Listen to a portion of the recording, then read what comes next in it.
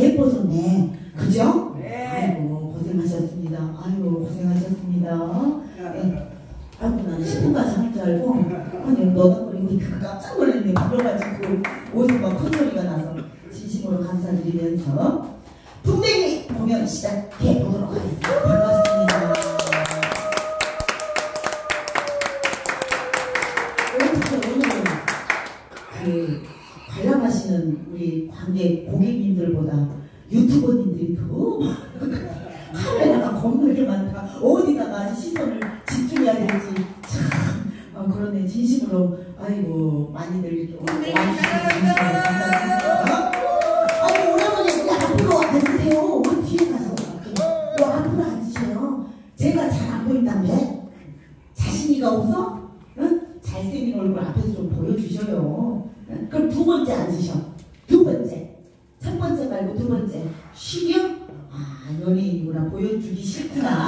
네, 잘 알겠습니다. 자, 그러면 첫 번째. 네, 노래부터 슬슬 끌어올려 보겠습니다. 자, 바깥에 계신 우리 고객님들 빨리 들어오세요. 네, 풍뎅이 공연 시작해 보도록 하겠습니다.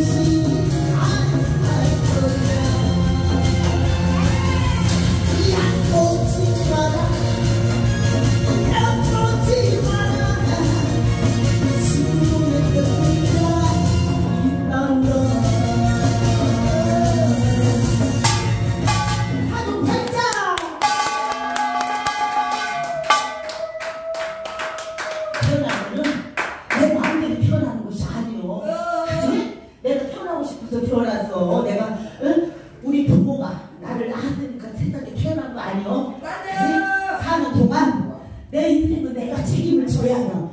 누구 탓도 할거 없어. 부모 탓도 아니요. 조상 탓도 아니요.